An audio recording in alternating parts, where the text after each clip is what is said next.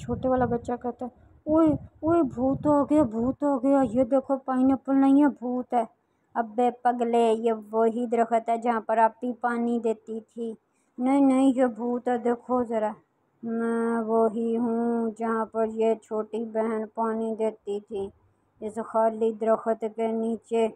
मैं ही हूँ, तुम लोग परेशान ना हो, बताओ तुम लोगों को क्या चाहिए? इस तरह टेंशन मत लो। मैं तुम्हारी मदद करने आया हूँ। फटोफट मुझे इस दरख्त से नीचे उतार दो। मैं एक मैजिकल हूँ। बस, सब ठीक हो गया। अब बताओ तुम लोग को क्या टेंशन है? पाइनएप्पल पाइनएप्पल, हमको एक बड़ा सा घर दे दो। हमको बहुत ठंड लगती है। हम वहाँ, हमारे वालदेन नहीं है। हमें कोई जगह भी नहीं देता। तो प्लीज़ तुम हमें एक अच्छा सा घर दे दो। अगर तुम वाकया ही मैजिकल अगर तुम जादू के हो तो हमको घर दे दो। हम बेचारे बड़े परेशान हैं इतनी देर में। पाइनएप्पल के ये लश्कारे लगते हैं, कहते हुए हम लोगों को घर मिल गया। सर्दी भी नहीं लग रही। पर पाइनएप्पल किधर गया? अबे ढूंढो उसको पाइन पाइनएप्पल को किधर गया? वो सारे ढूँढने लग जाते हैं, घर से बाहर आ जाते हैं और एकदम से बड़ी आपी की नज़र पड़ती कहती अरे, वो देखो ये देखो, ये हमारा पाइनएप्पल है और इसके अंदर हमारा घर है। वो सीढ़ियाँ चढ़ के हमने इसके अंदर जाना। हम तो परेशान ही हो गए थे, पाइनएप्पल तुम्हारे लिए। कि तुमने हमें घर तो दे दिया, पर तुम खुद कहाँ चले गए? तुम हमारे साथ साथ रहो ना। हम बहुत भूखे हैं। हमें बहुत भूख लगी हुई है। बड़े सारे दिनों से हमने कुछ खाया भी नहीं। परेशान ना हो। जब तुम्हें किसी चीज़ की ज़रूरत हो, मुझे बताना।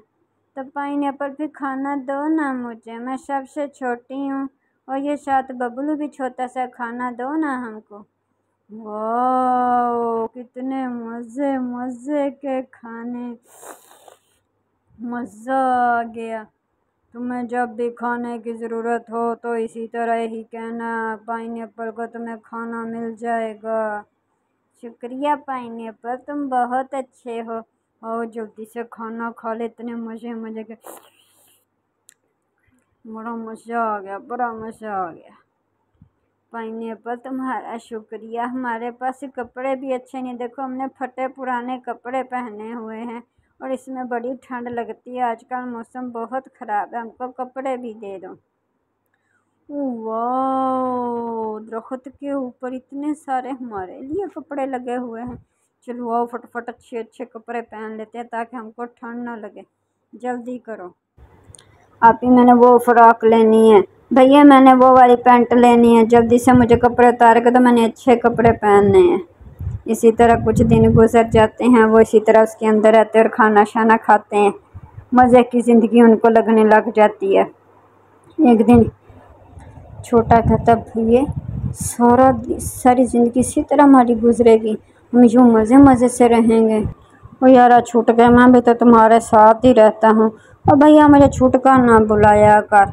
मैं तेरा भाई हूँ, नदीम, मेरा नाम तूने रखा है तो तू छुटका क्यों बुलाता है मुझे? इतना अच्छा तो मेरा नाम है। अच्छा अच्छा चल गुस्सा ना खा।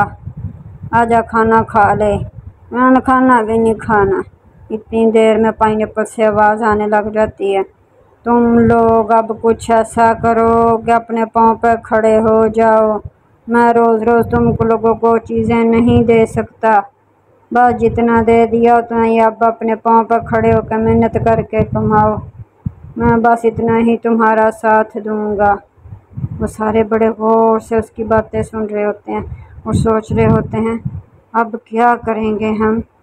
चलो इसको कहते हैं, थोड़ा सा हमें कुछ दे दे, जिससे हम अपना काम कर लें। तो आप ही कहते, तुम कोई ऐसी चीज़ हमको बताना जिसको हम बेचें और अच्छे अच्छे। भैया यार, उसकी बातें सुनकर दिल बड़ा परेशान हो गया है। अब क्या होगा हमारे साथ? अब कुछ नहीं होगा, मैं हूँ ना। वो ये क्या? इतने सारे बीज दे दिए आपने। जाओ, ये उन बच्चों को भी दे दो। ये लो यार, ये बीज उगाओ। बाकी क्या बचा हमारे पास? ये दो बीज हैं अभी ये ले लो। लाओ बीज मुझे दो। मैं जाके ज़मीन में डालती हूँ। वो बीज डालती है ज़मीन में। और देखती है एकदम से वहाँ पर दो बड़े बड़े पाइन एप्पल के दरख्त हो जाते कहते वाह एकदम से बड़े हो गए वाह वो देखो कैसे पाइनएप्पल मज़े मज़े को उसकी आइस भी लग गई हैं। दिखाओ दिखाओ, ये देखो, बोल भी रहा है। मैं तो तुम लोगों को आजमा रहा था। अब तुम लोगों को यहाँ पर मैं काम बताऊँगा। तुम काम करना और अपनी मेहनत मजदूरी से आगे बढ़ना।